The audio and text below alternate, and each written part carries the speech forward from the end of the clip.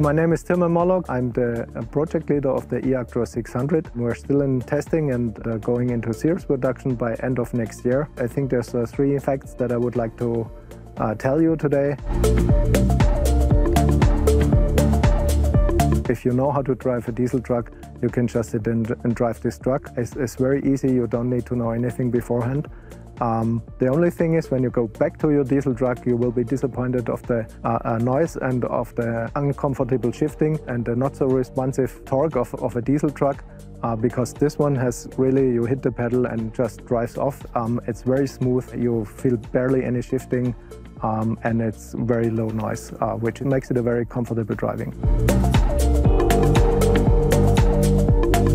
Have a 500 kilometers of range with uh, 40 tons of overall vehicle weight on a typical long-haul route. We achieved that through the uh, new developed battery uh, on the one side with 600 kilowatt hours usable energy, with the rear axle with four gears, uh, which is very efficient. And of course, also if you look uh, on the front of the vehicle, it's much more aerodynamic and uh, this reduces the drag force and, and also allows us for, for the good range.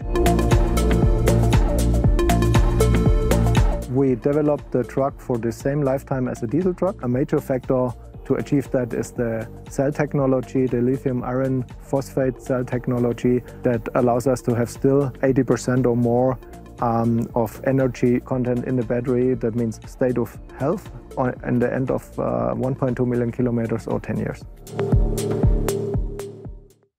Mercedes-Benz. Trucks you can trust.